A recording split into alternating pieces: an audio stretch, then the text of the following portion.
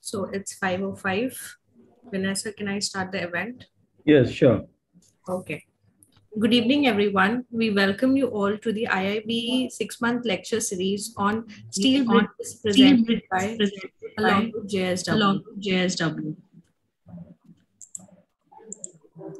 Today's session is Today's session is RK Goel, RK Goel. design of open web Design of open web girder. stressing. Stressing. I would request everybody Request everybody to be on mute. on mute. To begin this session, I would request Madam Ruhi, Madam Ruhi introduction on IIB, Introduction on IIB. please. Please.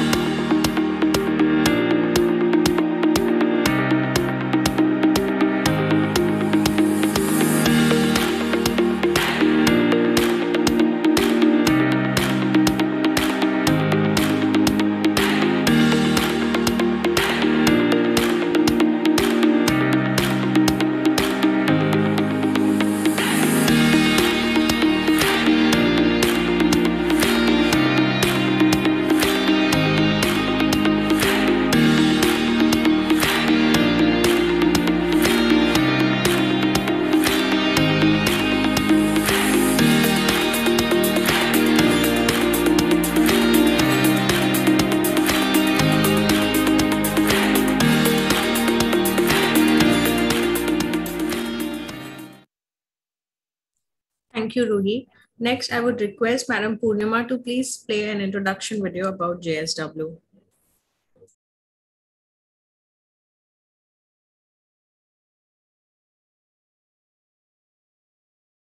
India, a nation powered by a billion dreams. Dreams that we aspire to fulfill every day. Together with our collaboration and commitment, as India embraces to be a 5 trillion US dollar economy by 2025, we are all geared up to be a part of this monumental journey to usher in a brighter, better future.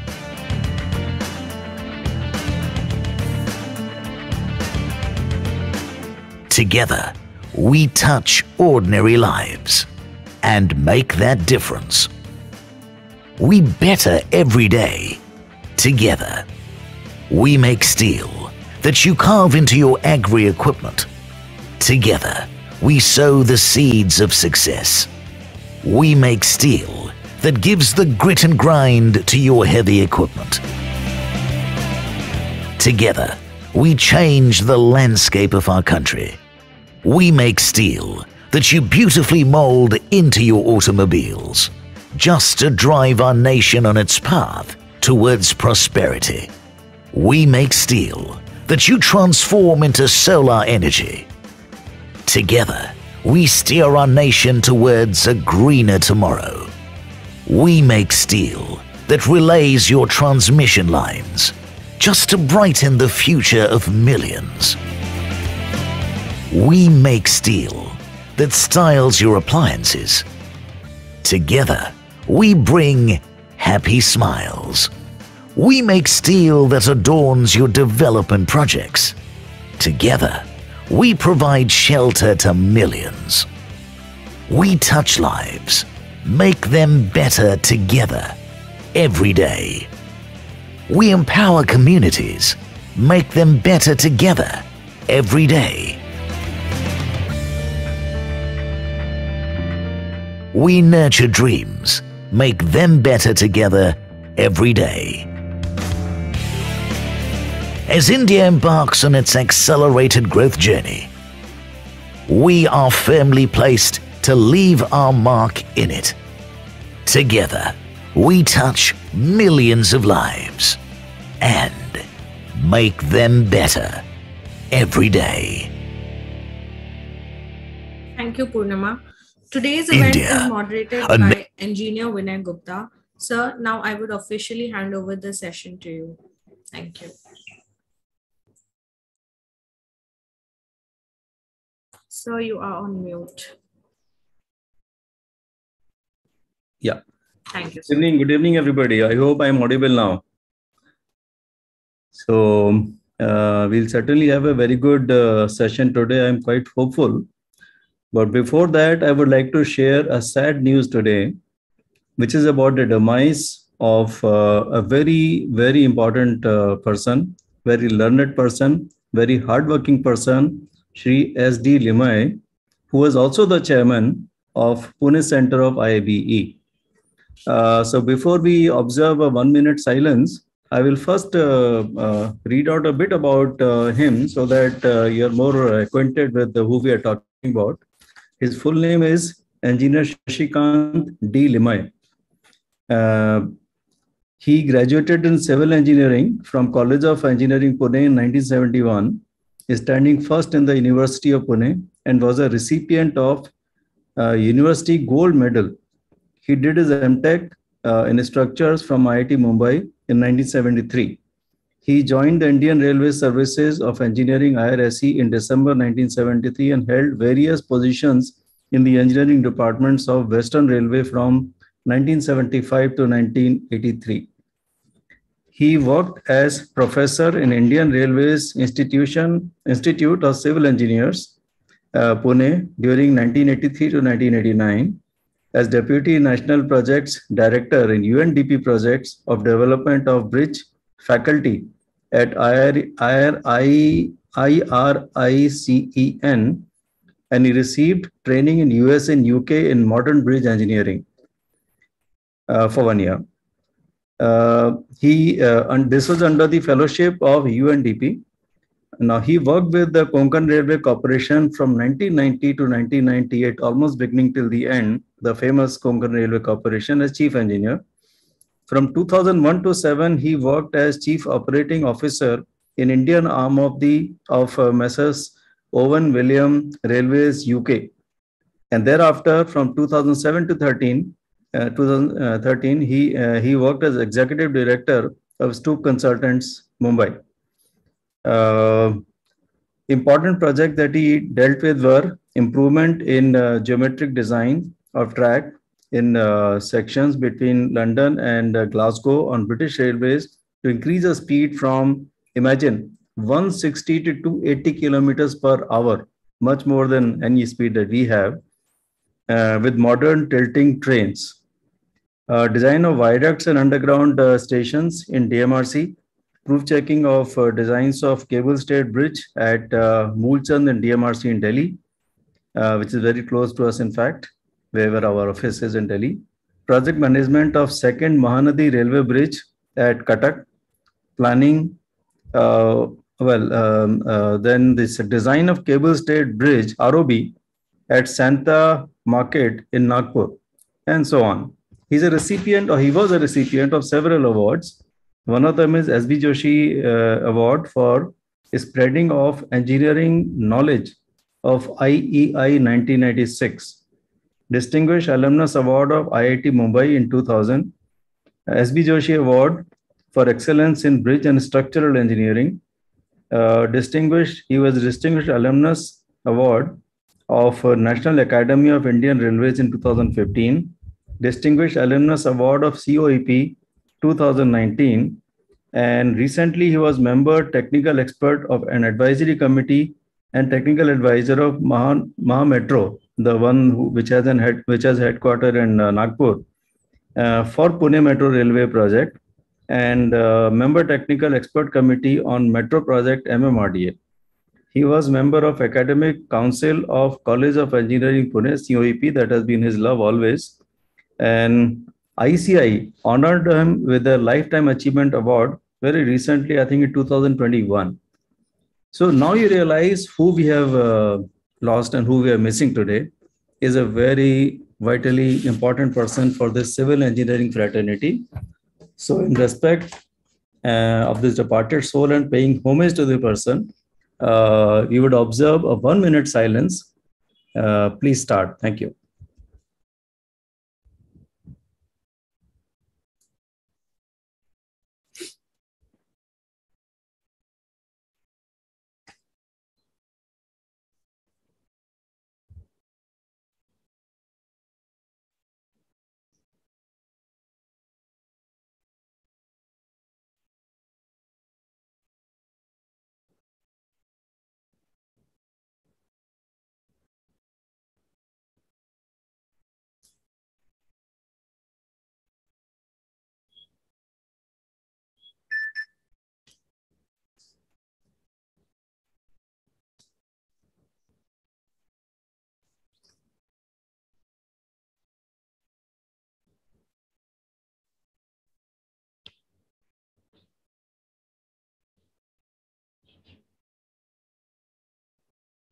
Yeah, thank you. So uh, anyway, the life must go on. So we will start with our uh, lecture of today, which is by a very important, a very uh, learned person, I must see in the, say in the railways, is engineer R.K. Goel. He is a very pleasant, he is a very pleasant, but equally knowledgeable, equally knowledgeable person. So I don't know why there is an I don't know why there is an echo. Uh, me Uh, a few words about him. Word about him. Engineer Ravindra Kumar, Engineer Ravindra Kumar, IRSE officer of IRSE officer of 1998 batch, 1998 and he has batch, strong experience of long design, experience of design, construction, construction, and the railway bridge. railway bridge.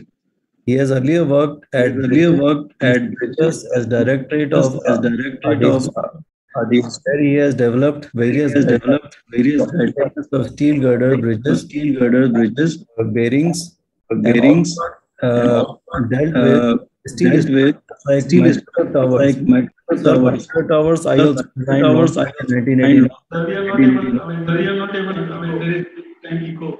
Sir, there is an echo from your- an echo from your end. Yes, what should I do? I do not know. Now it's very much clear, sir. Oh, so I need to present this uh, slide earlier uh, once again. Yes. Ruhi, please do the needful. Yeah. Yeah. So, um, okay, let me repeat in that case. Uh, Engineer Ravindra Kumar Goel, he's an IRSE officer of Indian Railways, 98, 1988 batch. He is, uh, has a long going experience of design, fabrication, construction, and maintenance of railway bridges.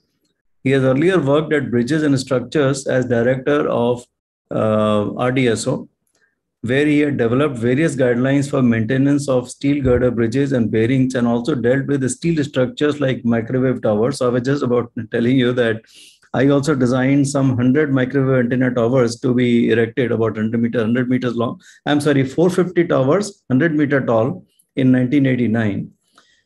Now, he was the key person to revise the fatigue provision in IRS Steel Bridge Code in association with IIT Roorkee.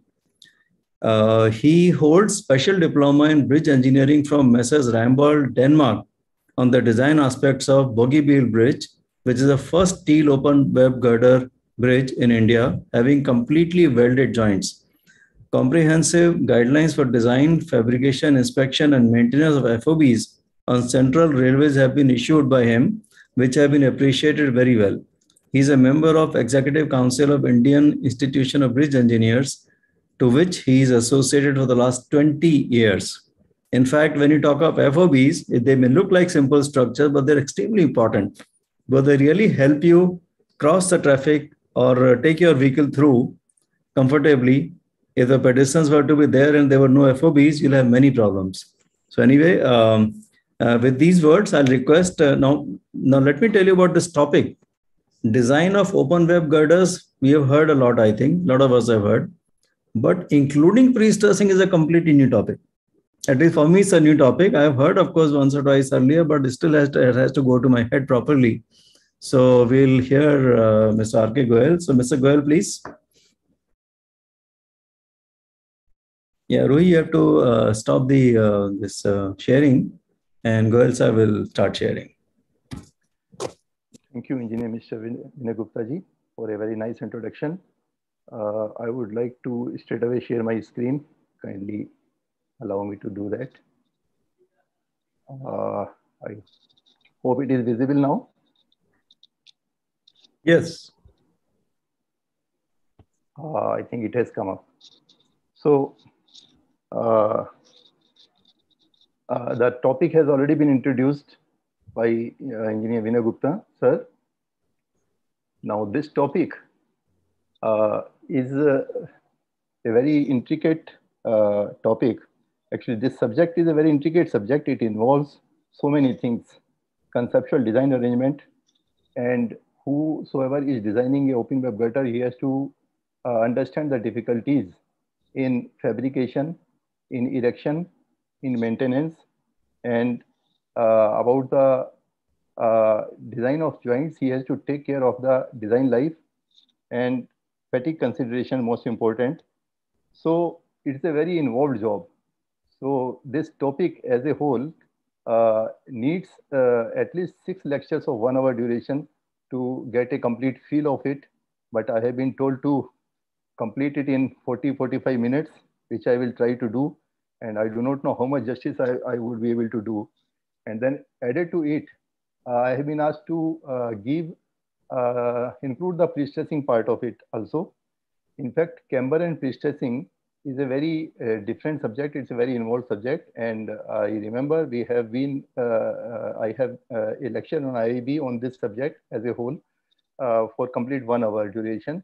So briefly, I will be giving the uh, concepts of pre-stressing and how they are different from the camber at the end of the main lecture that is, the, that is of design of open web girder. So with this uh, brief, I will uh, just like to start.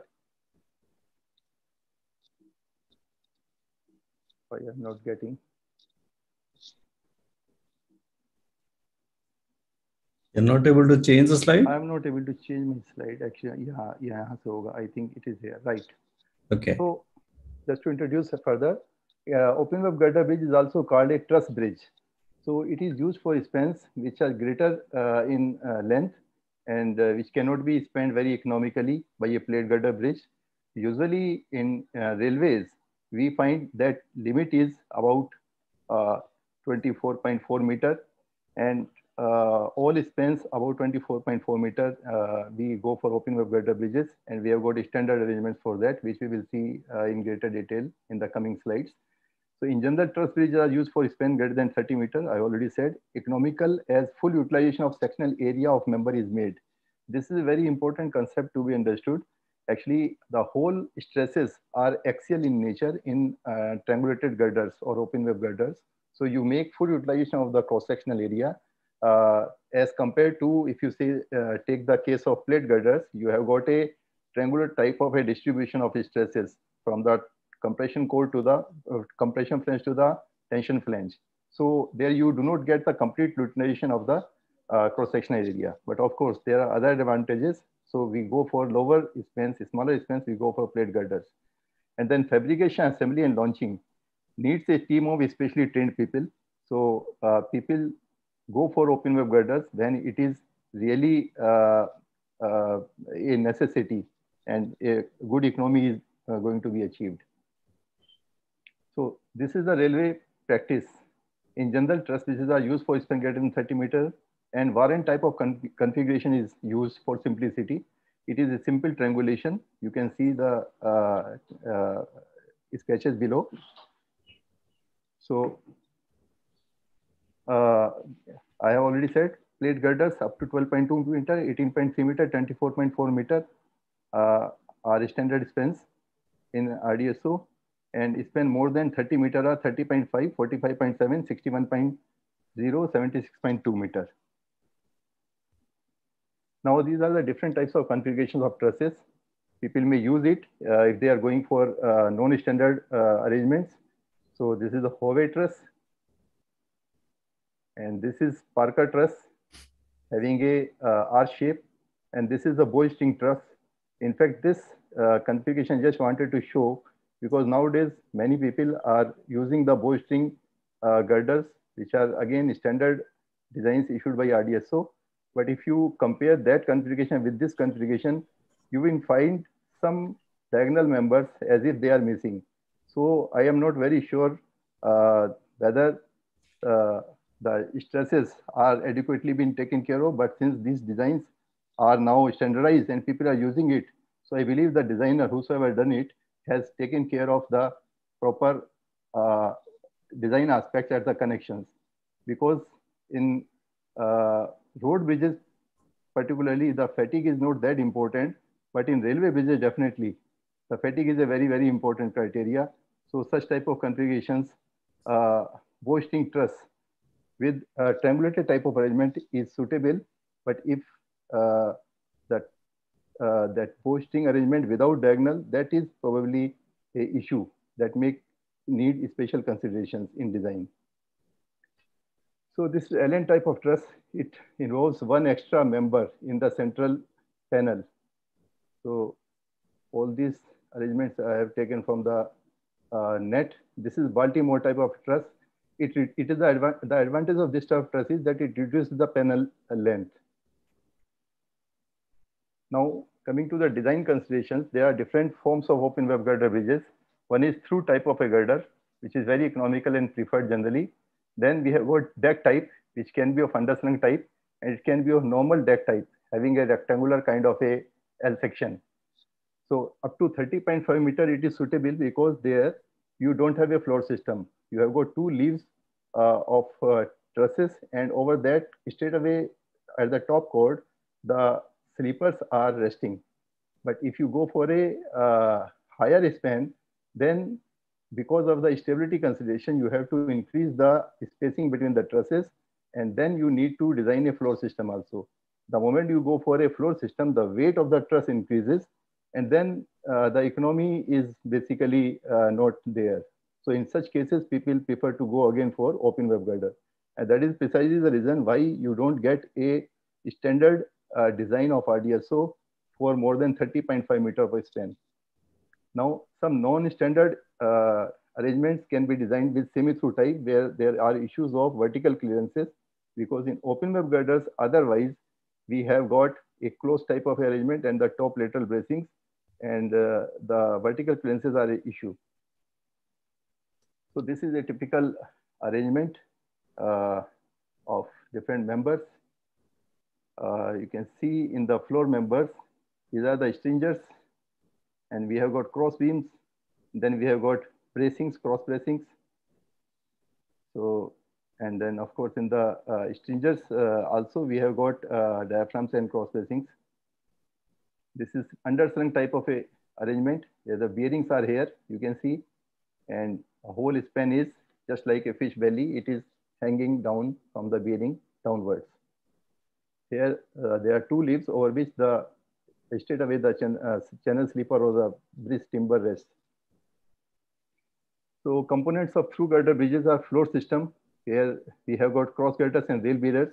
Then other primary members are bottom chord members, which are mostly tension members, and top chord members, which are compression in nature, which are having compression, and rakers, they can have compression and some bending also because of the wind effects. And then diagonals, we have reversible stress members depending upon what type of configuration we are using. In present Warren type of truss, we are having uh, reversal in the diagonal members. And verticals, they are mostly tension members and they are also called redundant members because there is very less stress in these members. Now the secondary members are bottom lateral bracings, top lateral bracings, sway bracings and knee bracings, and portal bracings and knee portal. So different uh, kinds of forces are uh, carried by these secondary members also. Then main gussets and bearings. This is uh, a uh, figure which shows different members of open web girder. Here, this is the end floor member. Uh, this is intermediate beams. These are the stringers over which the rail passes, train passes. And there, here, these are the bottom chords. This is the end portal. This is complete end portal. Then you have got top chords, and then these are the diagonals. Now, design of bridges of Indian Railways, basically we have got standard spans for uniformity and mass adoption. That is the biggest advantage. Then design of standard span, they are all done by RDSO. Approximately 80% spans are standard spans and 30.5 meter span is very uh, commonly used span. And design of non-standard and substructure or foundation, they are done by zonal railways. And there is a concept of equivalent uniformly distributed load, which is very old concept and it is uh, being used. It gives you a very good idea about the type of forces uh, uh, that are likely to come in a particular member and then the superimposition of loads, their effects can also be done by using this approach. So bridge rule contains EUDLs for various uh, types of loadings. They give their EUDLs are for bending moment, EUDLs are for shear force. And besides that, there are longitudinal forces given for different spans in tabular form. So EUDL is the load which induces equal bending moment or shear force corresponding to the worst combination of moving axle loads of rolling stock. So type of truss, I have mentioned Warren truss with vertical for standard railway spans. And other forms can also be adopted as per the uh, site conditions or the situations required. Number of panels, there are norms for that. Weight of the truss versus floor system, the issue is if you have uh, less number of panels, your cross beams would be lesser, but your uh, design of uh, stringers and bottom chords will, uh, will be uh, increased, will be heavier. So you have to strike a balance and usually the optimum number is 6 to 10. Then length of panel, it again, there is a tug of war between the weight of the truss and the floor system. The optimum length is 6 meter to 9 meter. Then inclination of the diagonals. So the guidelines are you have to keep the inclination of the diagonals from 45 degree to 60 degree. These all these things are based on practice and they have been specified in steel bridge code of uh, issued by RDSO. The height of truss. Now, uh, height of truss uh, through type versus deck type, uh, it is between 1 by 8th and 1 by 5th, uh, 1 fifth to 1 eighth of the span length. And then spacing of trusses, it has to be sufficient to prevent overturning due to lateral loads. Usually it is more than one third of the height of the truss and, uh, uh, and 1 20th of the span. That means if you are going for 200 uh, feet span, then uh, 1 20th is 10 feet, about 3 meter will be the spacing of the trusses. Now estimation of loads. These are the different types of loadings. And for all these loadings, this is starting for BGML loading is the oldest loading, 1926. Then RBG loading 1975, uh, MBG loading 1986, 25 ton loading 2008. Then we are now having new loadings, HM loading and DFC loading. DFC loading is basically 32.5 ton axle load. So for all these loadings, the EUDL tables are available in bridge rules. And the loads are dead load. Uh, dead load is uh, basically dead load of the truss. Then we have got superimposed dead loads that includes the weight of the track, sleeper, and uh, any pathway, etc. All those things. Then we have got the dynamic effects for which the formulae have been given in bridge rules. Then longitudinal forces, raking forces, which are because of the sinusoidal motion of the train and wind pressure effects and forces and effects due to earthquake. So we consider either of the two, either the wind or the earthquake, whichever is more that is considered depending upon the uh, seismic zone. Now the dead load is very clear. It is assumed before the design based on the experience of earlier designs. Then after design of truss, the actual load of uh, actual dead load is verified. And if there is difference between the two, then the assumed dead load is revised and the structure is redesigned with the revised dead load. Now live load, for that there are clauses, clause 2.3 of bridge rule. It gives you uh, the formula for dynamic augment And based on that, we work out. And there are tables given in bridge rules to straight away get this uh, depending upon the loaded length. So UDL for bending moment and UDL for shear force. So these things are, these are also given, the tables are given in bridge rule from where we straight away pick up the UDL. Dynamic effects, I have told CDA. The formula for CDA is 0.15 plus 8 divided by 6 plus L, where L is the uh, loaded length of the span. And it is the maximum value can be 1. Now, longitudinal forces is uh, they are given in clause 2.8 of the bridge rule and value of longitudinal force due to either tractive effort or braking force. The longitudinal force can come either through the tractive effort or due to braking. So sudden braking, the maximum braking force, whatever can, uh, can uh, whatever can uh, occur in a particular loading, that is given in bridge rule. I will be showing you the tables how they are uh, there in the bridge rules. So values depend on loaded length, maximum of the tractive effort, dono message, dono, uh, whatever is more in between the two, tractive effort or braking force, that is adopted. Now racking forces, they are given in 2.9, clause 2.9 of bridge rule, 600 kg per meter, and racking force not to be considered for calculating stresses in chords or flanges of main girders. Now the wind pressure effects, they are to be taken uh, as per clause 2.11 of the bridge rules wind pressure expressed as a equivalent static pressure in windward direction and on the leeward direction 50% is taken. So uh, uh, the bridge shall not be considered to carry any live load when wind pressure at deck level exceeds 150 kg per meter square. Actually, that kind of a situation will be very for a very brief period of time. So at that time, the possibility of having a live load also on the bridge is very, very low. So this exemption has been given. So wind force, simply wind pressure into exposed area. So exposed area is area of moving load and the exposed area of the truss members. So we will be seeing the detailed calculations for that. Now the for seismic forces, again, horizontal seismic force and vertical seismic force, uh, they are calculated based on the consideration of seismic zone, importance of structure and its soil foundation system.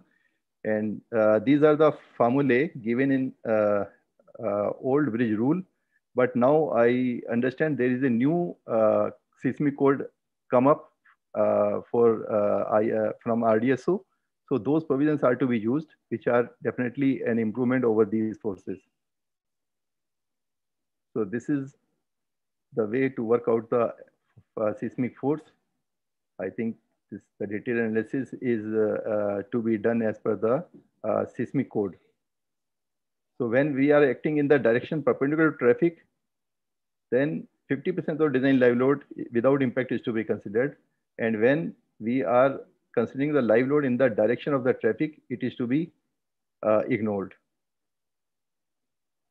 So analysis of forces. So analysis can be done using the suitable computer programs or by hand calculations. Uh, hand calculation is done using the influence line diagram concept, which is very easy to use. So uh, ILD is basically nothing but the response uh, of a unit load moving from one end to another end over a particular member. So uh, these uh, things are again shown in the tables, which are likely to come in the coming slides. So dead load analysis is simple.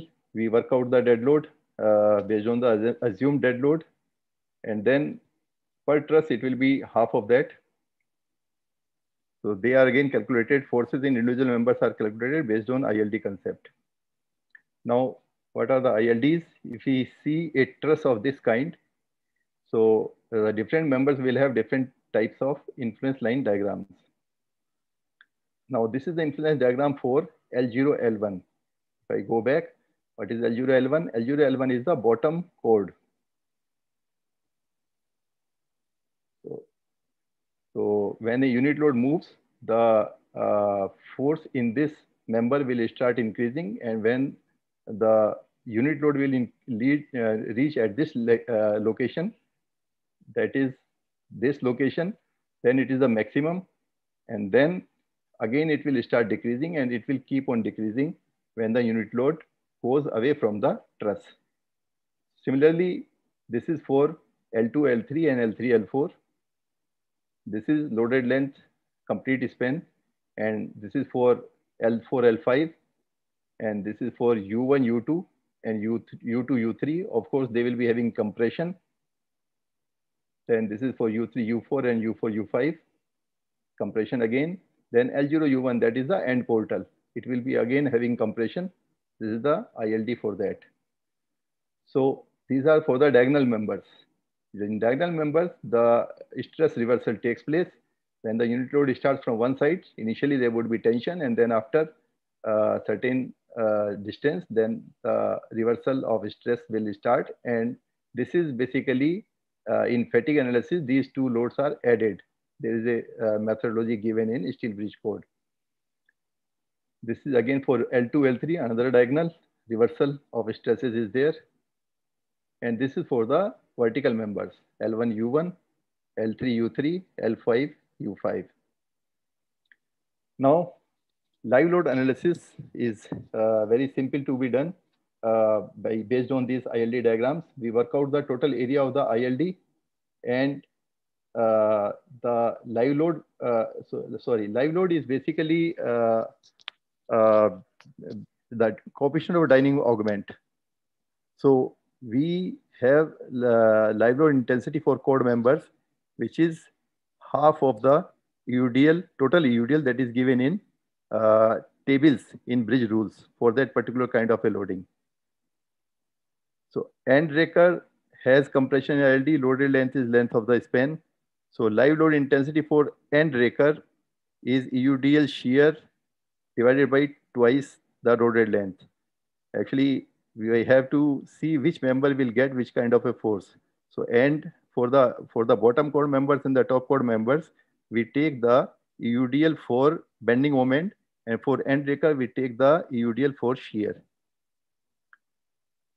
So CDA for uh, breaker is calculated using taking length as span length. Then diagonal members have, are having both tension and compression. Loaded length for tension and compression is found from ILD diagram again. Live load intensity and CDA for diagonals are calculated on tension and compression both based on their respective loaded lengths. So force due to live load is ILD area into live load intensity. Force due to dynamic augment is equal to CDA into force due to live load. So this is very simple. So CDA we have worked out 0.15 plus 6 upon 8 plus L. So longitudinal force taken only for only for the bottom chord members because when the braking occurs, sudden braking will occur, it will be only uh, through the bottom chords. It will go towards the end uh, port, uh, end beam and cross beam, and from there it will go directly to the uh, bearings, and through that, from bearings, it will go to the abutments, pier or abutments. For bottom chord member in, in end panel, loaded length for longitudinal force is full length, full span and loaded length reduces by one panel length as we take bottom chords of other panels starting from end to center. So this is to be uh, taken care of. This is the IRS bridge rule, which uh, gives the loaded length, which is equal to effective spans for bending moment. I will show you the tables. These are just say, this is for 25 ton loading, which is very common loading. Most of the bridges are being designed for this loading nowadays uh, you see the table, total load for bending moment for spans. If the span is say 5 meter, 4 meter, 5 meter, the total load for bending moment is given. Then total load for shear force is given and impact factor is also given. So one need not to do calculations. Straight away from this table, you will get the three things, total load for bending moment, total load for shear force, total load, uh, total uh, live load due to impact. Uh, this is for longitudinal forces again, the tables are given. Uh, tractive effort, braking force, and maximum longitudinal force, which is maximum of the two. Tractive effort or braking force ka jo maximum hoga, that is, that is uh, over here. So it varies as per the length. Now wind load analysis. This is a general concept of load transfer and how the wind forces are distributed among the members. So wind load is basically wind pressure into exposed area. Exposed area is area of moving load plus exposed area of truss member. So if this is, if this is the truss and this is shaded portion is the moving train, then we have five regions. One is the uh, bottom chord area. Other is the bottom chord to moving load in between the uh, in between the moving load and the bottom chord. That is the area second. Then the moving load area three. Then over the moving load and below the top chord area four. Then the top chord that is the area five. So these five regions are there where the wind is to be seen, how the wind forces are acting. So this is a typical way of uh, working out the wind load. Uh, between rail level and bottom of bottom chord, this whole force is worked out based on the area multiplied by the uh, wind intensity. And this is carried by the bottom chord. Similarly, the area between moving load and rail level of stringer, that is the area B2. It is again carried to bottom chord. Then moving load B3, there is a separate way of analyzing the effect of this uh, force. Then top chord and top of moving load T1, top chord T2, and then gussets at the top T2 again. All these are added. This is again shown in different way. So I think it's very clear. A, B, C, D, and E and F. Now summary of projected area, bottom chord and top chord. We work out what, uh, how much uh, is the exposed area. And this is the way we work out the wind force. Top chord wind pressure 18 to 1.5. This 1.5 has been taken because uh, on the leeward girder, 50% of the wind load is assumed. It is, this is as per the codal provision codal provision. So wind force on the bottom chord, this is 1.5 into A, B minus B3 plus B3. So a nodal force at the top chord and intermediate nodes, then it is distributed on different nodes. Similarly, in bottom chord, it is distributed on different nodes. And then we do the analysis in a horizontal plane also for the uh, wind analysis. And this ultimately, all this load is taken care of by the bracings, top chord bracings and the bottom chord bracings. They are designed for the uh, uh, stresses. Now, seismic force analysis. Seismic force is calculated in horizontal and vertical direction. In horizontal direction, seismic force calculated for bottom chord and top chord. And on bottom chord, seismic forces due to dead load as well as live load. Uh, on top chord, seismic forces uh, due to dead load only. It is obvious because the bottom chord is uh, carrying the whole weight of the uh, moving train also.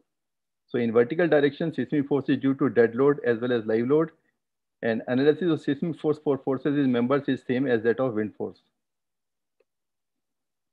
Now force in truss member found by adding forces due to dead load, then live load, and then the dynamic effects or the uh, basically live load. Uh, live load is basically due to dynamic effect and uh, uh, live load and dynamic effect, yes. Uh, this is the uh, dynamic effect means CDA, effect of CDA. Then longitudinal loads, wind loads or seismic loads, the higher of the two. Now design of stringer, it is just it is done just like a plate girder. So I will not go into detail of this. This is simpler. Similarly, design, uh, again, this is design of stringer only. Uh, design of connection between web and flange, it is done for shear calculation of horizontal shear at the level of weld. That is very important. And permissible stress in weld is taken from the appendix G of SBC and clause 13.4 of welded bridge code. And size of weld is calculated subject to clause 6.2 of welded bridge code. Basically, the point is there are guidelines given for design of each and every component of the open web girder in steel bridge code or relevant uh, other codes like welded bridge code or bridge rules. Now design of stringer, provision of stiffeners is made. There is 11 clauses there.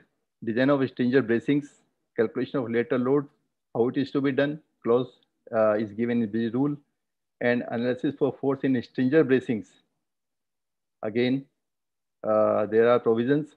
Design of stringer bracings is uh, done as per 6.2.3 and 3.8 of steel bridge code. Now, design of cross girder is again as per the plate girder design. Simple methodology. Only thing is L4CDA is taken 2.5 times of the cross girder spacing. This is specified in the uh, table where the uh, CDA values are given in bridge rules. Now, again, connection of cross girder with stringer. This is very important. Number of rivets are to be worked out for one span loaded or both span loaded, both, both the conditions. And connection of cross girder with vertical and bottom chord. Connection of cross girder with vertical and bottom chord. Uh, this is very important. Uh, actually, uh, there are typical arrangements of a uh, triangular member being attend, uh, which is designed to ensure that there is no subsequent deformation taking place at that location. Now, design of bottom chord, they are designed as tension members. And uh, section assumed for bottom chord members, that is taking into consideration clause 4.5 and clause 6.7 of steel bridge code.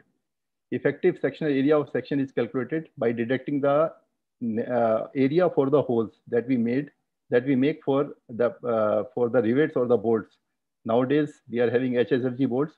So the net area is to be taken into consideration. Actual stresses calculated for axial tension for without longitudinal and seismic or wind forces and with longitudinal and seismic or wind forces, two types of conditions. This I think we will be uh, more clear when we see the table.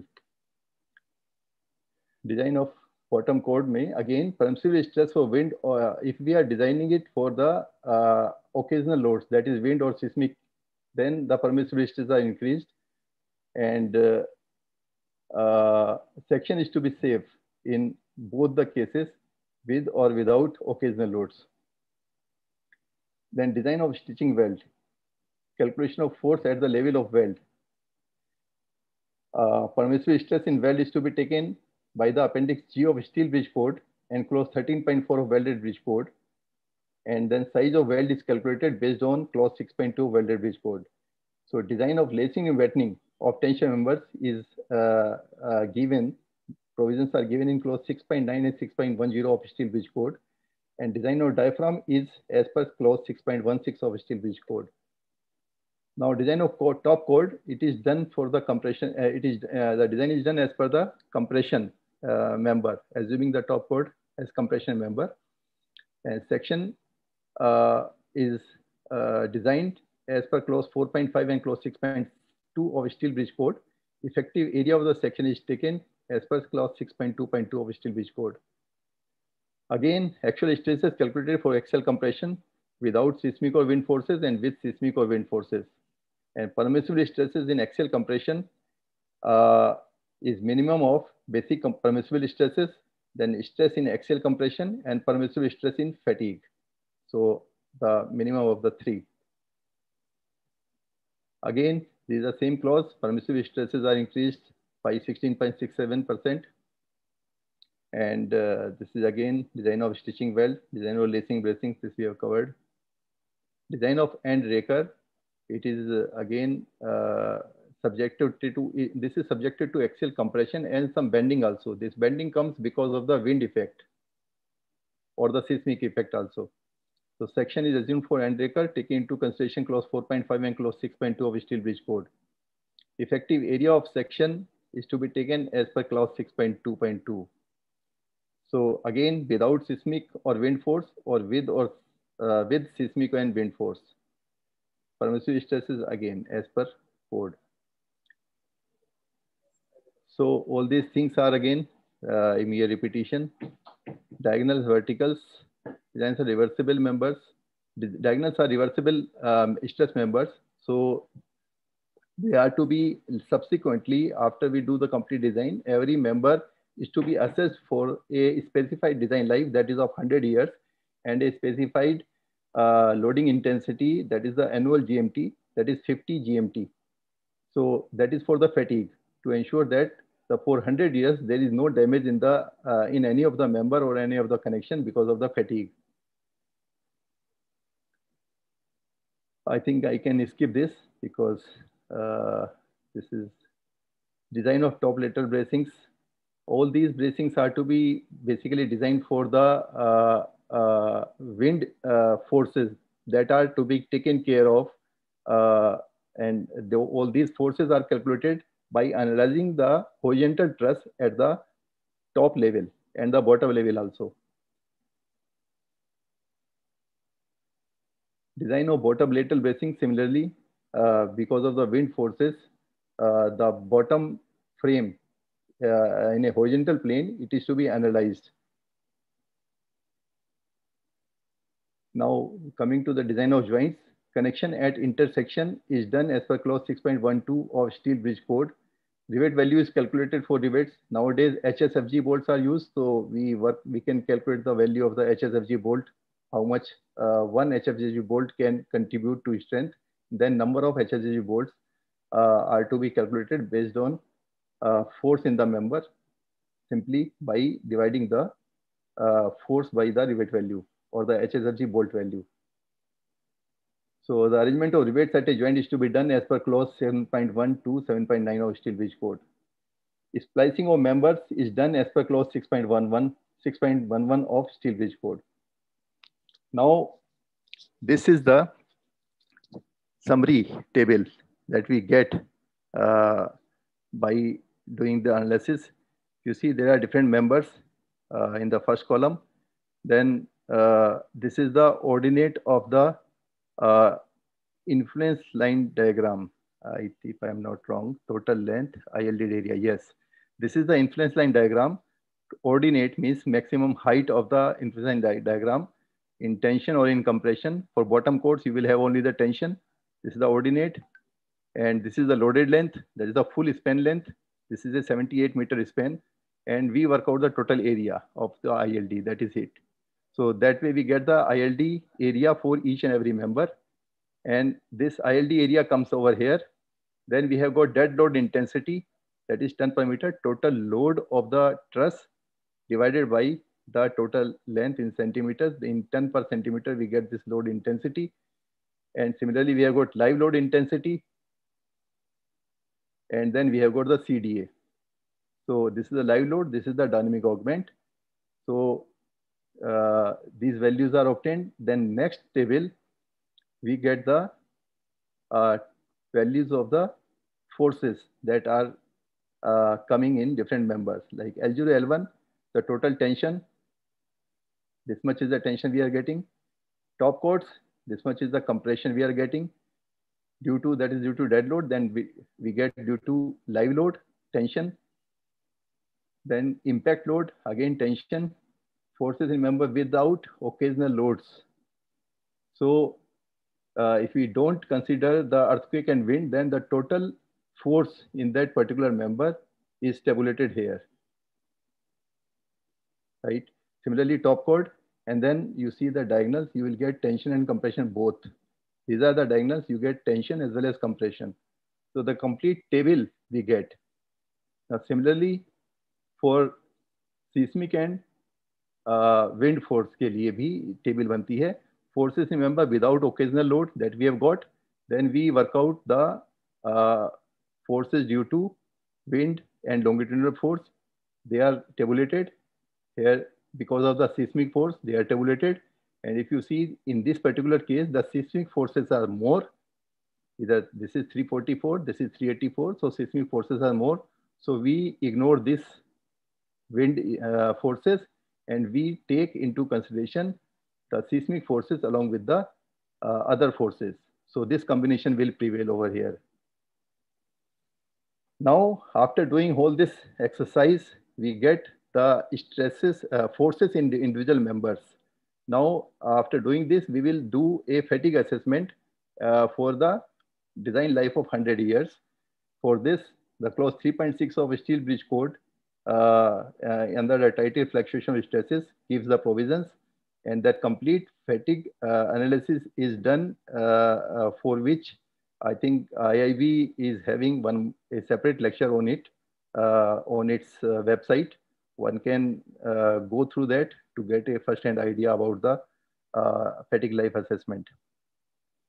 Now, the concept of camber, which is very often uh, misunderstood by the people, uh, many people consider that uh, we get the pre-stressing in uh, individual truss members because of uh, camber only. Whereas there are two concepts. One is camber and other is pre-stressing. The two are entirely different concepts. So this difference I would like to explain by these uh, three, four slides that I am showing you. So camber is a functional requirement to avoid effects of vertical deformation under moving trains. If you make any beam and you load it, you will definitely get some deflection, some deformation. And uh, if you if you want under service conditions, there is that there should not be any deformations.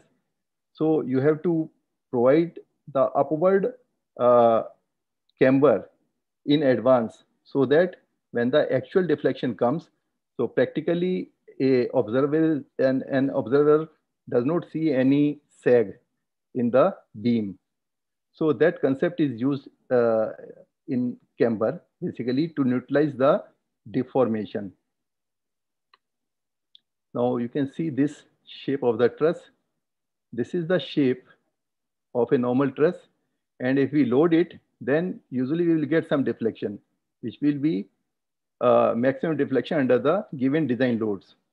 And if we want the deflected shape to remain horizontal, then we have to provide upward camber so that when the load actually comes, this uh, deformed shape is practically in a horizontal plane. So this is for neutralizing the deformation. Now, pre-stressing concept is a different concept. It is done in addition to the camber to develop reverse kind of stresses in various members at the stage of no load. So no saving of material is intended over here. However, we get some economy besides getting reduced stresses during the service. So girders can be designed as cambered with or without pre-stressing. And there is a there is a clear-cut provision given in steel bridge code which says that uh, you can design the girder as only cambered girder and it is preferable to design it as cambered plus pre-stressed. So there are some differences in the design provisions for doing that. So the advantage is the secondary stresses are ignored if we are designing the girder as pre-stressed girder along with the cambering. Cambering is essential. So a lot of quality control in fabrication is uh, required when we design the girder as pre-stress girder. Now to explain the uh, issue further, the shortening and elongation of member, how it is helpful in giving some kind of a pre-stressing in the members. If you see the second picture over here, we have got a fixed length A and B between the two supports, two fixed supports, and we have got a uh, member steel member, of course, which is of length L. And I want to have this member uh, to have some pre-tension or pre-compression. In one case, I want to have pre-tension. In second case, I want to have some pre-compression introduced. So what I do to introduce the tension, what I will do, I will fabricate the member uh, in such a way that the actual length is less than this length AB. So A1, B1 length, if it is less than AB, then there is a shortening, shortening of the member length. So my uh, deformation is delta L and delta L, FL upon AE formula if I apply, uh, apply, apply, then I get uh, that amount of shortening that is required to uh, introduce the tension amounting F1. F1 force. Similarly, for introducing compression, I will have to increase the length of the member originally. And then when I will do force fitting in between A and B, the member two will definitely get some compression. So concept is simple. Camber is to neutralize the deformation and pre-stressing is to neutralize the stresses. Now we can say a simple bracket uh, arrangement. Uh, if I take in black, if you see, there is a bracket ACB. If I make a bracket ACB and no load is applied, then this member AC will be horizontal and BC will be uh, as it is. And uh, under a load W, this C will come to C dash. There, there will be some deformation. And this will be the deformed shape. In green color, you can see. And if I want that the after deformation, this member AC dash should remain horizontal, then what I will do, I will uh, make this member AC something smaller in length so that this point C dash is somewhere here and this uh, member BC again something uh, some longer uh, so that uh, it comes here. So if we if we draw a perpendicular from here, so I will get this much of elongation. So when I make this structure in such a way, then after application of load W, this C dash, C double dash will come at C and there would be no deformation seen practically. Now, if I want to introduce pre-stressing also, now A, C, B, I have fabricated in such a way that it is having camber and after deformation, this C will come here. But at the same time, now I want this member, which is usually supposed to have tension, that it should not have any tension after loading with W. Then I will do some kind of a uh, elastic shortening and elastic elonga elongation. So this to introduce compression initially, I will have to make this member a bit longer and this member a bit shorter. And by force fitting, I will put both these members at C. So then finally, this member when loaded with W, it will be theoretically having no stresses and it will be having no deformation also. Practically no, will, no one will see the, that there is any deformation and theoretically there would not be any stresses in both the members. So this is in nutshell the concept of pre-stressing which is being uh, practiced in all the designs of RDSO standard uh, trusses and many people are not aware of it. So uh, this is uh, important to know because many times we are dealing with the existing uh, uh existing uh, open web girder bridges also. So we must know that this is a advantageous situation for the bridges which have been designed with pre-stressing.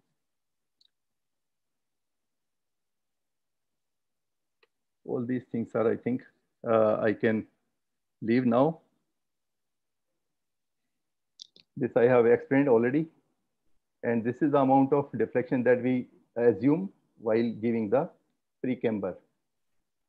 Thank you very much. I hope I could not breach the time limit given to me. Thank you, sir. Thank you. Thank you, Mr. Goel. Very interesting. And I am hearing this presentation uh, that is the last part i must say probably second or third time but still i'm trying to scratch my head and understand uh, really interesting and very useful i must say uh, first of all before we go into our panel discussion and questions and answers um, uh, I must uh, ask uh, Ruhi, are you ready with the uh, this? Uh, can you project the slide for the next event, which is on 27th in uh, May in Delhi? Yes, sir. Can you please project that for the people's information? Okay, while you're projecting that, in the meantime, I'll inform uh, all the audience that the next lecture of this series, which will be the fifth such, uh, the series that is sponsored by JSW, and uh, of course, that's a great help that they have provided to IBE, uh, will be on 17 June uh, Dr. Harshavardhan Subbarao, he will be the speaker uh, and he'll be speaking on a 4.4 kilometer long Digha Sonpur rail cum road bridge in Bihar, which means more like a double decker, similar to one you see here in the picture, although that is a different context, and uh, four and a half kilometer long, which they were involved in. Then the last one that is on 15 July. So the first one I said is 17 June. Please come one, come all. All of you must join and also get others to join. Uh, on 15 July, we'll have a, a presentation by uh, engineer V.N. Hegde. And he'll be presenting on something, another different topic. Unlike you saw this, uh, sorry, uh, other way you saw pre-stressing, you'll see a topic there which is decarbonization of steel. Decarbonization of steel for durability. And then followed by, uh, I mean, following that, we will also have a panel discussion, which will be like the end of the series of six lectures, ending with a panel discussion with a lot of enrichment of everyone's knowledge, including that of panelists and yours. And now coming to what uh, uh, our head office has projected to you, uh, can you put it on full screen, uh, Ruhi? Ruhi, can yeah, yeah, okay, okay, it's a PDF, fine. So friends, uh, we have also started organizing in-person physical events. And uh, next event that we have will be on 27th May in uh, Delhi, uh, place called CSY in Chanakyapuri, uh, which will be basically on double-decker bridges. And there are two presenters of two different projects of double-decker. Uh, one is uh, engineer, sorry, Dr. Professor Anurag Mishra, Professor Dr. Anurag Mishra. He's from IIT Jammu. And the other is uh, Mr. Sai Baba Ankala. Uh, he's uh, a part of Indian Railways, very similar to uh, Mr. Uh, um, uh, R.K. Goel. And both of them will be presenting their respective double-decker bridges. Now, double-decker precast segmental, when we are talking about, this means that the lower deck, which is a wide one, carries the highway traffic, the road traffic. The upper one, which is a narrower one, it carries the metro. And the construction and design both, they become a challenge. For one reason that the pier from the lower deck passes through the lower deck and go to the upper deck. So there's a different uh, design concept. Another challenge is how to erect both these segments, the upper level, lower level, that without hitting, hitting the crane, while you're erecting one, the other one should not get hit. Those things will be discussed threadbare. And I know that the project of um, uh, Professor Anurag Mishra is Jaipur Metro double decker. In India, so far, we have three double deckers. Uh, one is Jaipur, other is Nagpur, third one is coming up in Pune, and fourth one is coming up in Delhi that we are designing, uh, Delhi Metro. So we'll have very interesting presentation. Of course, we will follow it uh, by uh, cocktails and dinner. So please come and join at Delhi. Thank you so much. And uh, Ruhi, thank you for projecting it. I'll go to the next part of it about this, uh, uh, I would say the presentation. Uh, I must say that uh, engineer Ravindra Goel has presented a real life method of analyzing and designing open web girders. Because the way he explained each and every aspect of uh, designing, of course, we'll have uh, questions from you, and please feel free to ask as many questions as you like. He even went to the grassroots level of ILD, influence line diagram, in uh, bottom chord, top chord, bracings, everything. So that's where we are. And the other thing he told about how to take the, there's a confusion he clarified among the people's mind, the span L for coefficient of dynamic augmentation. And that span L is between the cross girders and not the whole span. There's no confusion, is very clear. And lastly, of course, he explained very well about the pre-stressing and its purpose, like we talk of it in concrete, where we pre-stress it to counteract the tensions that we have so here again, we counteract the pre-stressing, uh, the rather tensions through pre-stressing in steel. Apart from cambering, apart from shortening the length, and apart from you know uh, sort of varying the length, that finally after uh, loading, it should come to the required profile. But then we also providing some kind of a uh, pre-compression kind of a force in the steel. In fact, I would have been very happy if there were some pictures to show how it is done actually. So on the whole, very interesting, very pleasant, and very pioneering kind of a concept. And he said the railways are always using it. I just did not know. Maybe many of you would. So I think with these words, uh, uh, in a way, I'm done. Uh, now let me see who are the other panelists before we go to the questions. And in the meantime, I request all the audience to please put your questions in the question answer box, Q&A box, please. So, Mr. Uh, uh, first of all, our sponsor, Mr. Vinay Pandey, would you like to say something? Because uh, I wanted to convey a message to everybody, which I forgot. The message is that we must not be biased towards concrete or steel. As engineers, we must decide, we must make a right choice that in which conditions steel is better, in which conditions concrete is better all of both of them have some merits and some demerits and some limitations. For example, if you're worried about a weight somewhere, whatever be the reason, but if there's a weight, then no matter about uh, durability, cost, this and that, because there are ways and means to uh, counter that, you have to go for steel. And you must go for steel. Then there is a thing that you want something to be looking as nice as concrete in some funny shapes or maybe 3D printed concrete, then of course you have to go for uh, concrete. But usually in both these nowadays, we go for segmental approach. In concrete, we tend to go for uh, precast segmental and pre-stress it. In steel also, we uh, manufacture uh, long beam, truss, whatever, in several segments which can be transported, brought to the site, assembled using HSFG bolts, which Mr. Uh, R.K. Goel said, and these HSFG bolts have become increasingly popular for the site fabrication. And the fabrication at the, at the factory, a workshop, would be done normally using submerged arc welding of a bridge quality welding, I must say. So uh, I think uh, we have both the choices, but uh, and I said we should not be biased on anyone. We should not say concrete is superior or steel is superior we must weigh uh, the merits and demerits of each in the given conditions and then tailor the product, be in steel or be it in concrete. Uh, I request uh, Mr. Pandey to please say a few words. Thank you, Mr. Gupta.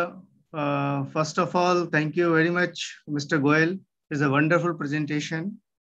And uh, I, on behalf of JSW, I thank all participants this is a knowledge sharing platform and uh, the entire series of lectures are part of knowledge dissemination program.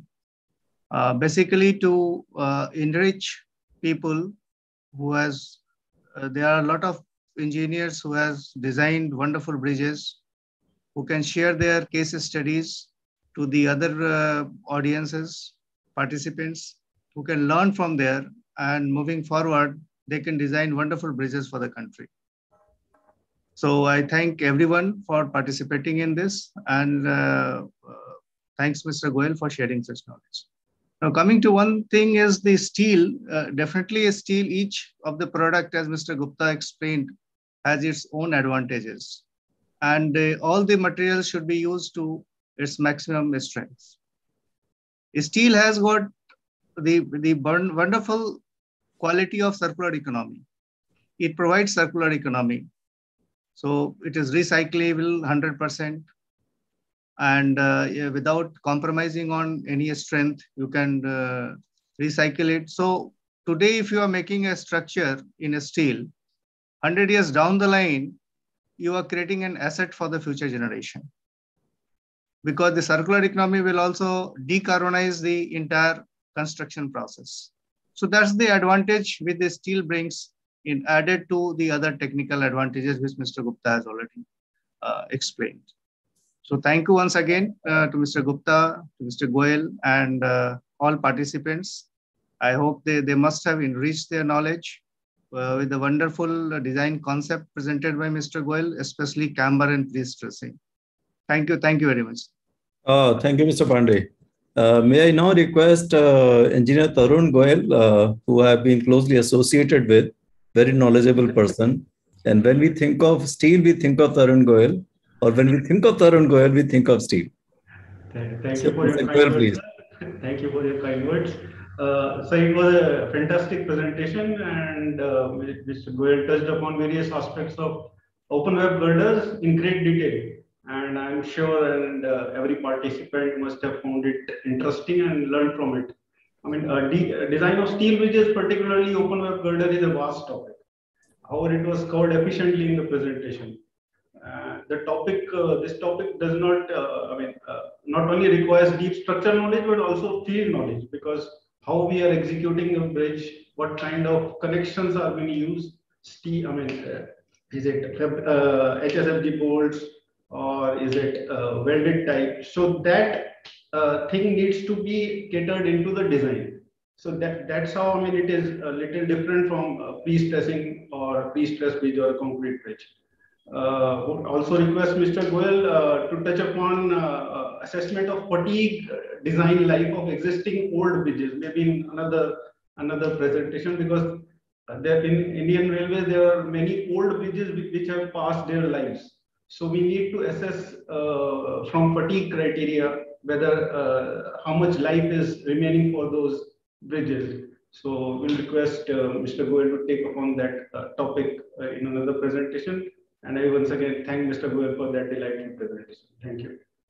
Mm, thank you. Thank you, Mr. Tarun.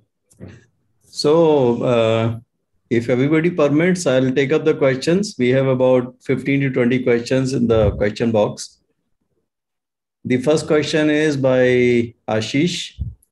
Why is it that EUDL up to 10 meter for maximum bending moment and, uh, and after 10 meter, it is moment at 1 by 6 of the length. So can you answer? Uh, actually, uh, I have shown you a sample uh, type of a page. Actually, the complete table goes into two, three pages. I have, uh, uh, for the purpose of uh, making the slide, I have used only the first page. So if you see the bridge rule, you will get more pages, you will get the more expense also. Right. So the next one is by uh, Thota Murlidhar. Wind load is to be considered both on the train as well as the truss also. Is it okay? That is right. Actually, wind is to be uh, considered for uh, five different regions, which I've explained. One is the bottom chord, and the second is between the bottom chord and the moving load. Third is the moving load. Fourth is the moving load, and below the top chord. Then the fifth one is the top chord. So for all these uh, components, there is a definite set of procedure which is to be adopted for wind load analysis. Right. Ms. Harinder Dogra is asking very interesting question. Does the speed of train affect design considerations? Yes, yes. Actually, the uh, this is part of the bridge rule. When we uh, talk about the speed, it is basically a load. It is part of the load if you increase the speed, your uh, dead load uh, remains the same, live load remains the same, but the impact Im, uh, is uh, increased. So the CDA formula that we have in our bridge rule that caters for a speed of 165 kmph for passenger trains and 125 kmph for goods trains. So up to that speed, if you are running the trains, then there is uh, no need to worry. They are taken care of by the CDA. But if you have to design a bridge for a speed in excess of 165 kmph, then you have to account for or you have to provide, you have to suggest some modification in the CDA. So a question may come that if the speed is only supposing less, say about uh, 80 kilometer per hour for whatever reason, can the CDA yeah. be reduced as well? The question is ki whether you are designing for the Indian Railways or you're designing for some yeah. private railway. If for some private railway, then you can definitely reduce. But if you are designing for Indian Railways and that too for a uh, standard span, then you have to adopt for the uh, codal provision. Mm. So his next line on the same question was, uh, increasingly higher speed are being achieved. So what is the impact of this? Uh, up to 165 kmph, I have told there is no issue. If you are going higher than that, and if it is a passenger train, then you have to work out what is the effect on CDA. But nowadays we're dealing with a lot of high speed trains like 300 km per hour, 225 yes. km per hour. Yes, you will, have to, you will have to increase the CDA. So in right. that case, we need to do uh, dynamic analysis, like for NCRTC. Uh, that may be required, may not be required. Actually, the problem is there is a very uh, limited research in this field in the country. Right. Whatever research is there, that is there in uh, other country, European countries. Right, right. So next one is uh, Venkateshwara Rao Surati. Uh, what kind of protection is envisaged for a steel truss bridge against corrosion? Let's say design life of 100 years. Actually, this is a very important topic and it can be covered in a one hour duration uh, if you ask me. Uh, there are different uh, kinds of systems uh, one is uh, a normal conventional system wherein we do the painting. Uh, we do the first primer coat, then a intermediate coat, then the final coat. There is a complete scheme of painting given in, again, B1 document that many of us know. and uh, that is to be followed. But if somebody is interested to have a higher type of a production, there are long life painting schemes available. So up to 15, 20 years, they don't require any uh, second uh, attention. Which means paint will not have a life of 100 years. You have to go on uh, redoing it after 15 years or 20 years See, or whatever. uh, acha, okay, it's a very interesting question, actually very close to my heart. Uh, the real protection to steel is the primer coat, which many of people, many of people, uh, they forget to apply. They straight away apply the finishing coat. So we have to understand the complete philosophy. How does it work? It's a complete system. You have got the primer coat, which protects the steel. Then you have got a uh, uh, intermediate coat many times, or you straight away have two coats of finishing paint. So the finishing paint, the finishing coat that protects the primer. So with this three tier of protection, there is no other protection required. If you keep on after every five years, if you keep on uh, doing the finishing coat once more, then your primer will remain always intact. And Right. the second problem is that when the people inspect the bridge, they see the main member, they don't see the connections. And these connections are the uh, critical areas. And these are the locations which are very difficult to inspect. These are the locations which are very difficult to paint. So one has to focus on connections if you want to increase the design life of the bridge. Uh, rather the uh, not the design life, the service life of the bridge. Yes, thank you.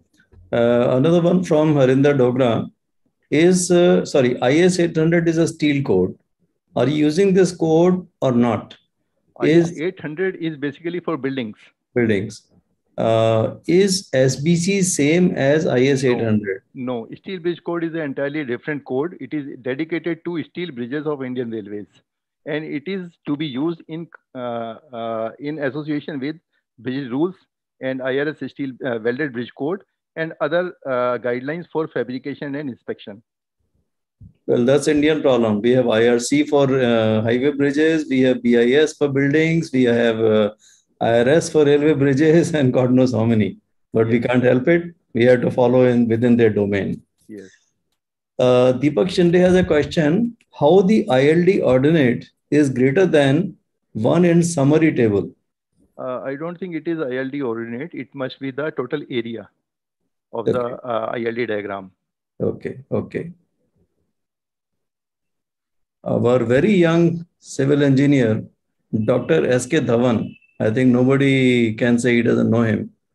I think he's around 75, 80 years old, recently done his PhD. He has some question. Question is, please explain the adequacy of section in the design of open web girder bridge. Yes. So there are three types of members. One is the tension member, other is the compression member, and the other is the bending member. So in bending members are basically uh, the cross cross beams and the stringers. They are bending members, and uh, you have got the bottom chords, tension members, top chords, uh, compression members. So the tension member is to be designed based on the net area concept. At the connection, when you detect the area for holes, then whatever net area you get and the, the permissible stress. So you work out how much is the uh, net area requirement. That is very simple. Okay. So the next one is by Muhammad Yunus Ahmed. How to apply pre-stressing in open web? Actually, uh, I would request you please go through uh, the IIB website. There is a complete lecture on it. You will find it very interesting and uh, you will get all the answers there. But can you give a gist of it so that uh, at I least have explained in the know? last slides. Uh, Yeah. See, what is pre-stressing? You have to introduce a reverse kind of stress in a particular member. Suppose you are having a tension member and you want to have no stress during uh, uh, finally under the load. So you would like to pre-compress it. So for doing the pre-compressing, for introducing pre-compression, you have to uh, increase the length of this member in between the two supports and then do force fitting. When you do will, when you will be doing force fitting, you will be compressing this member to the uh, actual length that is required in between support A and B. And when you fit it and leave it, then this member will be having the compression. So when the actual tensile load will come, so they, this will get negated. Right. Uh, Naveen Kumar Chaudhary is asking, can you share this presentation to attendees? I think some recording must be done. Um, I think, uh, are you doing some kind of a recording of this lecture that can be shared, I think, in IAB website? Recording is being done, but basically, uh, recording is not as such supplied in terms of uh, uh, uh what do you call it, pen drive or something or website. But uh, since live streaming is being done, it will be available on YouTube. Am I right, rohit Ruhi, can you unmute and tell me? It will be available on YouTube, I guess. Oh, sorry. She is probably not there. Okay, we'll answer this question in a while. So uh, the video is right now live streamed on YouTube. So they can just go to our channel at IIB and they can see the video. And will it be available later also? Yes, sir. Okay. So I think that answers the question. Uh, Heman says, thank you, sir. The talk, uh, the talk provided strong foundation for open web girder bridges covering uh, influence, influence line diagram, loading element of bridge, IRS clause, and deflection. So he is uh, praising the uh, Thank you for your presentation, as I also said. Okay, so Kalyan Sarkar says, Sir, thank you very much for the presentation, such a lucid and simplified manner.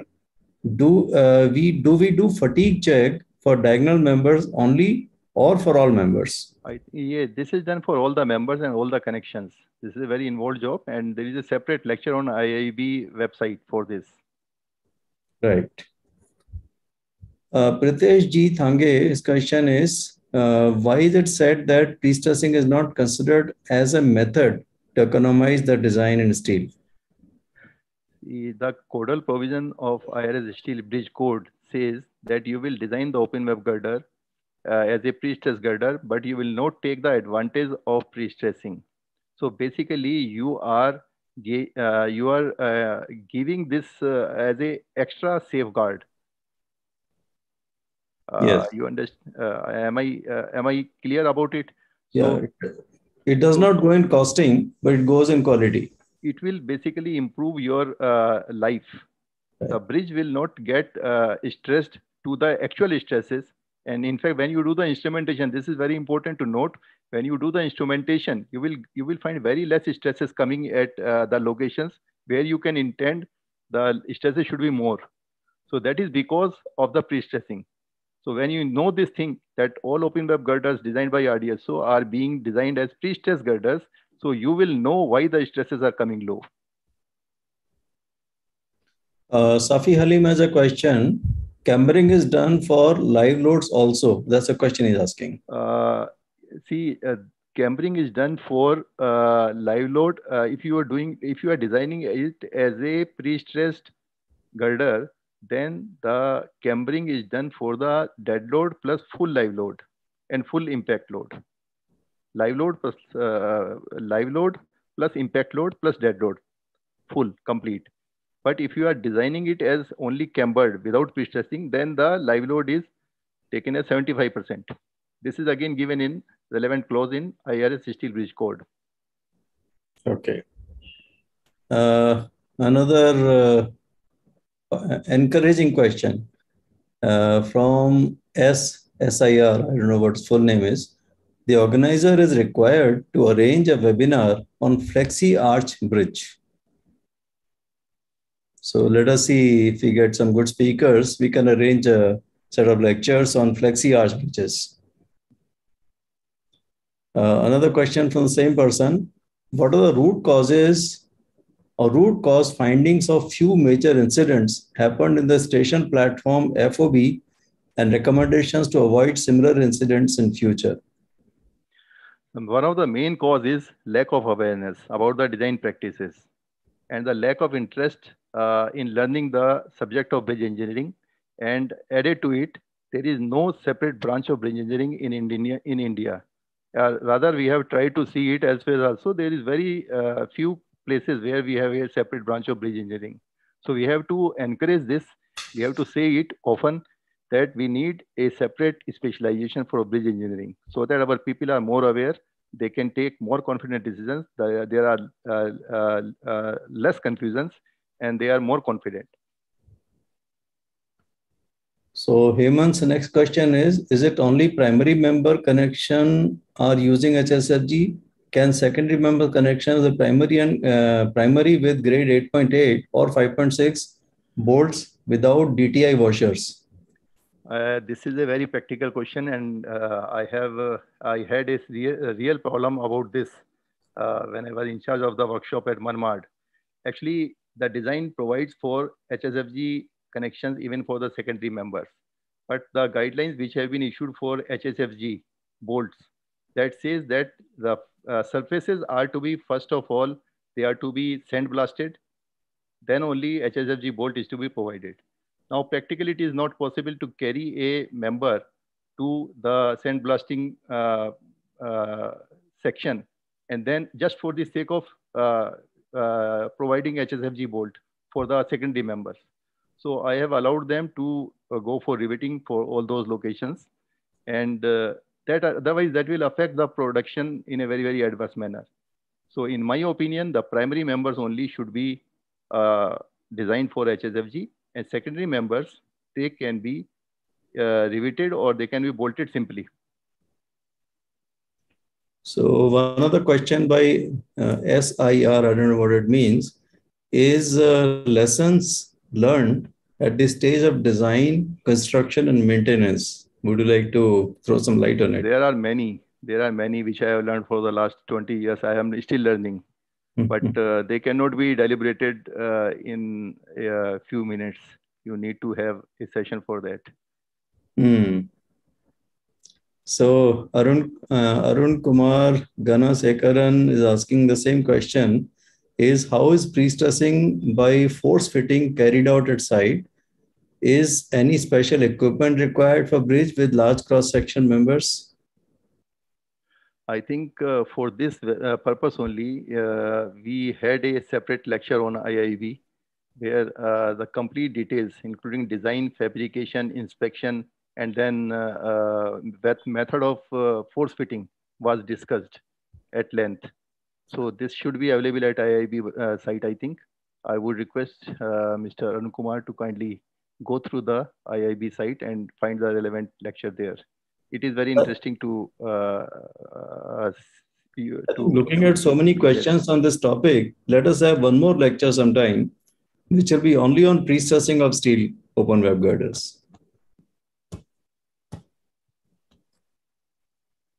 I think uh, previous lectures have covered almost everything. right. Okay, so let's decide. Let us see. Let us think.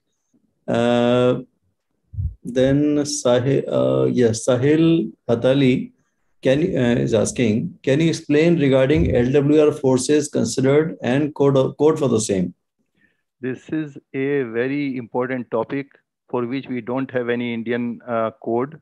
Uh, whatever we have uh, is a UIC code and everybody is following that. But I think there is a great scope of doing research on this topic it will hmm. reduce the cost of structures substantially if somebody does uh, somebody does a very uh, systematic research on this topic. It's a very important topic.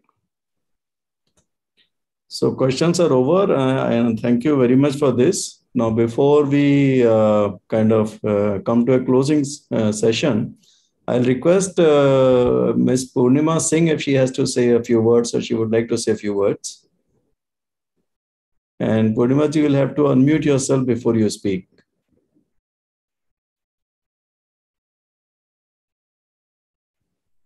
Uh, Ms. Purnima Singh, would you like to say something?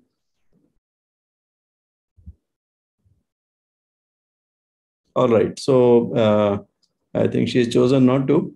Uh, I may request. Uh, okay, well, would you like to say anything uh, uh, about the whole thing and whatever. I mean, you like to uh, add anything? I think uh, I have spoken enough. Okay. if there is any specific uh, issue, then I can uh, definitely give my remarks. Okay. So, Deepika, if you are there, can I request you to propose a vote of thanks? Yes, sir. Thank you, sir. To all the honorable dignitaries, it's my privilege to have been asked to propose a vote of thanks for our special lecture. I, on behalf of IIB, extend a very hearty vote of thanks to all the members and non-members for gracing us with your presence and sharing with us your valuable feedback and suggestions. Firstly, I would like to thank our Director General, Engineer Dijik Dipte, for always providing us with a vision for the future of IIB our President and Engineer Vinay Gupta for constantly guiding, motivating, and inspiring us to achieve the vision. I would like to thank our Treasurer, late Mr. P.R. Kelkar, for being a strong supporter of IIB. He will always be a part of IIB.